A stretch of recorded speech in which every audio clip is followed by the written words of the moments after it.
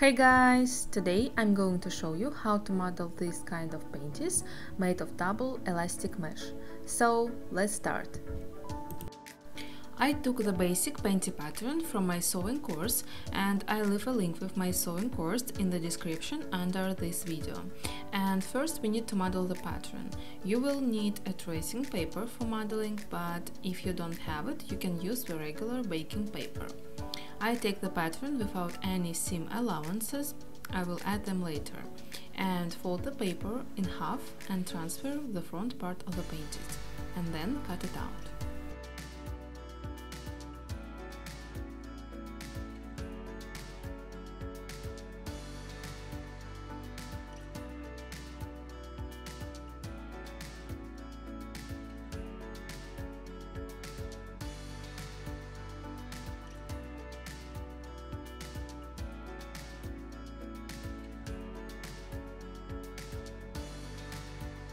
Next, I draw two lines that will be at the fold of the fabric, and on one of the lines I fold the paper.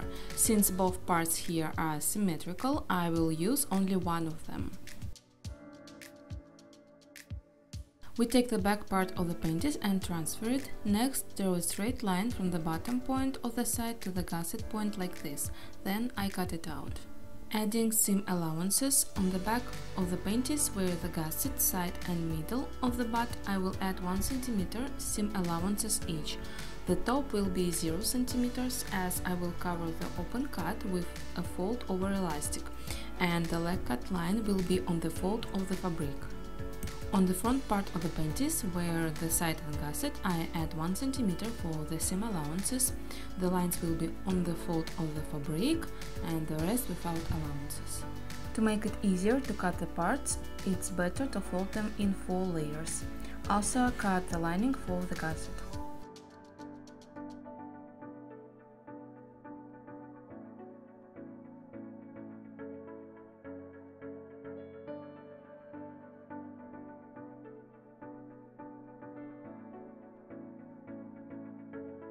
Put the front part of the panties together, put the lining face down, pin it, then we need to sew a straight stitch at the distance of the allowance.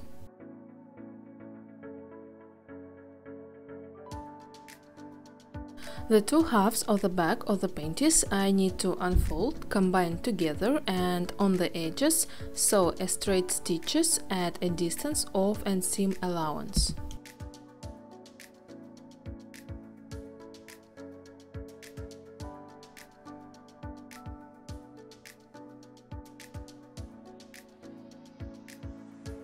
I make a small fold on the top edge of the lining so as not to leave an open cut and sew a straight stitch. Here I sew a straight stitch at a distance of 1 cm.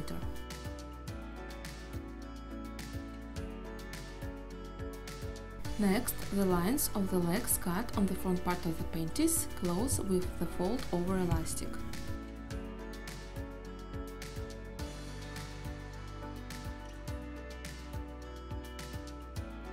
Next, sew the zigzag, I will sew a free step zigzag.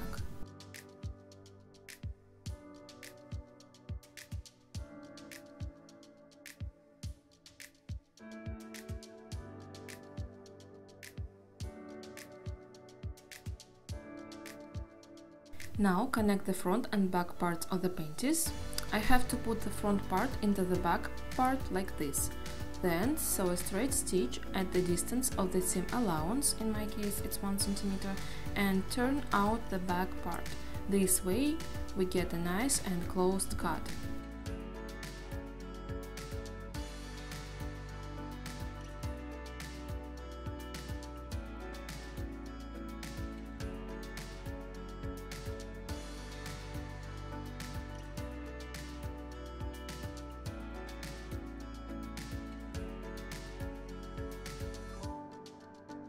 Now I connect the sides of the panties. I put the side of the front part of the panties between the two layers of the back part of the panties. Pin it and when I turn it out I have a closed seam.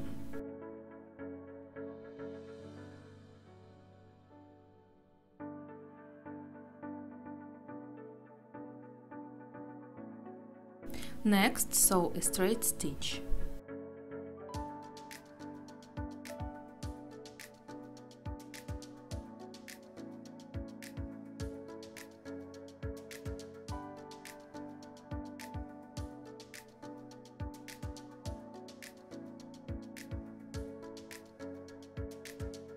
Next, I need to close the top open cut of the panties with the fold over elastic. To make it easier to work with the fold over elastic, I divide the top cut of the panties in half, put a pin and then place the elastic along the entire length. I also leave 2 cm tails, so I can add the rings later.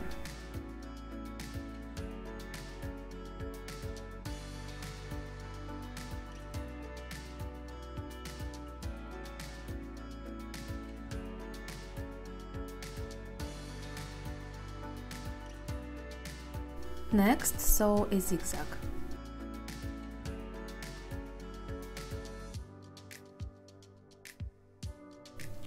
Next, in the tails I put the rings and I need to sew a straight stitch here.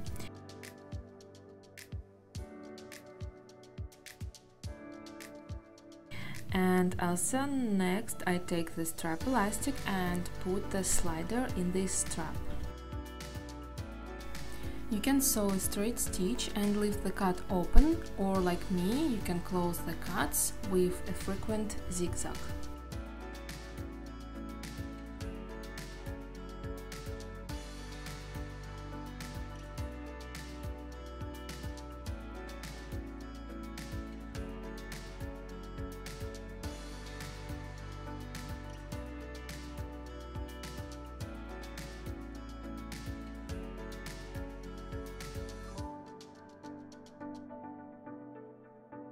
All that's left is to put the elastic strap in the rings and sew a straight stitch.